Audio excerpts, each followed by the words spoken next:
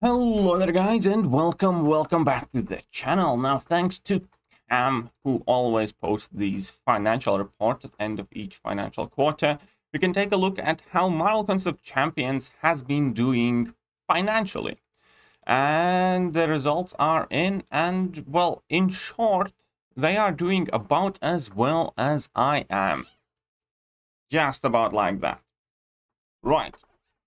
So, uh, let's take a look. So we have quarter three earnings report now. So basically this includes uh, months 7, 8, 9 in the year. So July, August, and September. That also includes the July 4th sales. And obviously a lot of the financial spending here has been pushed by the release of quite a lot of new content, including Summer of Pain and uh, champions like Hercules. Now, looking at it, however, even though they are up from quarter two, which is quarter three and quarter two, they have a slight improvement in both, which were both pretty much historic lows. So they are increasing their earnings, but that has always pretty much been the trend when we do end up spending more in the second half of the year with the July 4th sales, with Cyber Weekend sales, and alike. Unfortunately, even though Marvel Contest of Champions has increased the total amount of money they have managed to make in previous three months compared to three months before that, we can still see that we compare the highlighted quarters. So this is quarters per each year. So this is quarter three, 2021. This is quarter three, 2020, quarter three, 2019, and then we have quarter three, 2018. And we can see that this is still the lowest earning quarter three since 2018. Considering how much game has grown since then, again, I don't think it is a positive outlook here. You can approach this entire thing from two different perspectives. Perspective number one is that optimistic one that, you know, despite having all the input issues, despite the game bleeding players and there having to be issues and bugs with pretty much every single content released, there are still people spending and they spent more than they did in the three months before that and at the beginning of the year.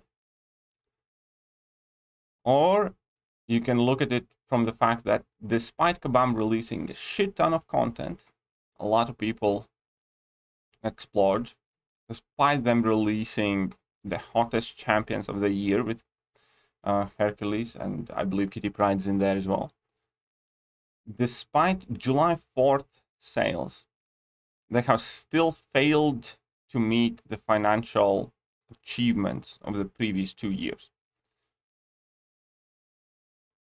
And undisputably, I don't think anybody can claim the game is currently going on up and up and up.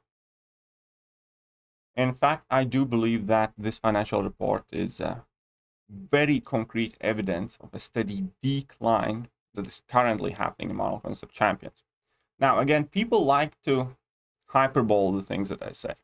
And I always try to be as careful as I can with the words that I choose. I am not saying the game's dying or that the game will die. Everybody always likes to say things like that. No. On the contrary, I do think that this game is big enough for it to keep losing players for another three, four, five, six, seven, eight months, and there still to be a lot of players left. Because with MCU releases, you know, some players are coming back with some more interesting events or something else, some promotional materials. A lot of people who retire or put down the game do end up coming back at some point or another. And a lot of new players also pick up this game every time they see Marvel and they get excited about being able to fight with these champions. They do download this game basically just like all of us did, you know. We watched a Marvel movie or something to do with Marvel. We saw this game in App Store and it's like, hey, that looks cool. I'll check it out. At the same time, it is worth noting that Marvel movies aren't really currently doing all that well either. But they're still doing a hell lot of a better than MCOC is. Right. I think this just reaffirms what we talked about last time when the financial report came in. Yes, the quarter one was absolutely devastating. Quarter one was like lowest earnings ever from any quarter since like 2017. So quarters two and three are better. They're nowhere near good enough, especially comparing with the recent past of the game. Especially expecting some sort of growth of the game as you know the game goes on longer has more content in it. And i think that is where currently Clans of champions is struggling. Failing to retain their play retain their players with all the bugs with all the game issues. I think plenty of new people are still picking up this game uh, every week every month. But i think a lot of them leave especially once they kind of get moderately serious. They leave because of the bugs. They leave because of Kabam, because of the design, and because of the management choices they are making. Obviously, without a doubt, when Kabam manages to address the input issues, I do expect a group of players to return and the game to do better overall. But that will not make sure that this game has any meaningful growth alone. We are desperate for new game modes. We are desperate for new interaction and new things. And I think one of the side effects as well of this longevity push that MCOC has been doing, for instance, has been reduction of power level increase in six star champions. Anybody remembers how exciting it was to see rank 5 5 stars for the first time? It's because they were significantly stronger than rank 4 5 stars.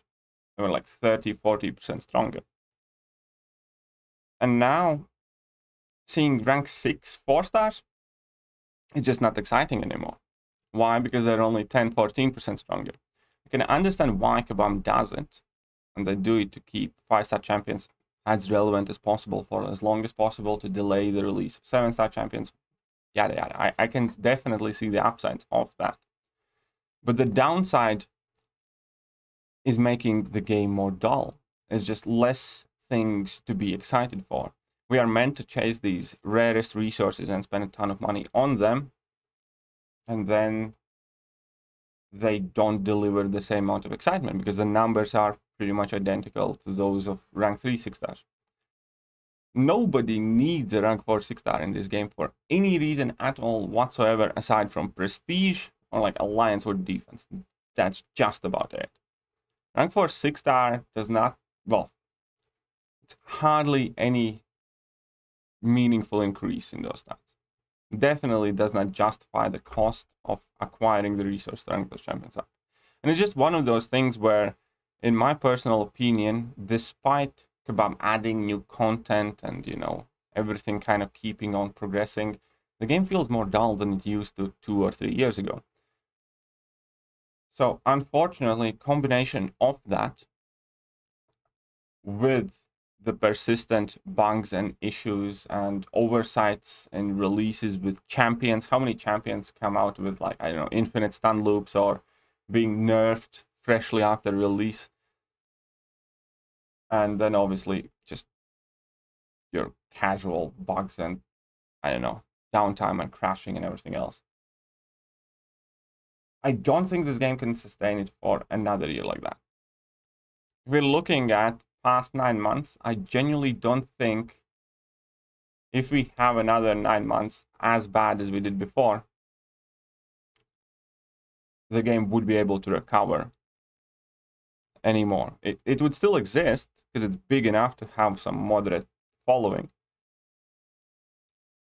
But the more times you soil the experience, the less likely the players who have left will be returning like because there are people who quit and come back every i don't know year right But if you keep failing them, if you keep giving them reasons to leave, eventually they don't come back.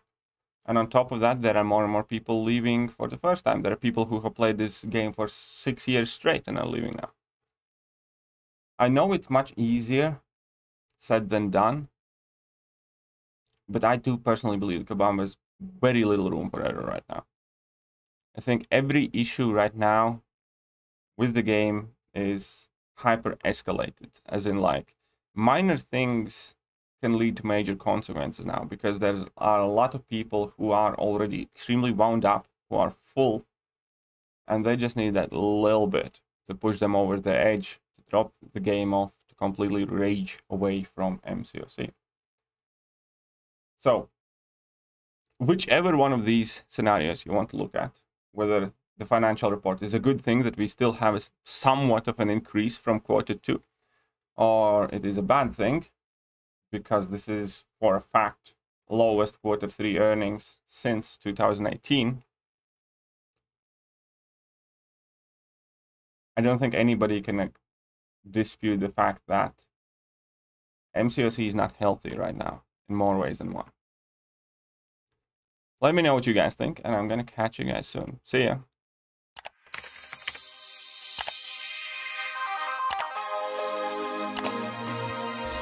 Hello there guys and welcome back to the channel. So we have all the information about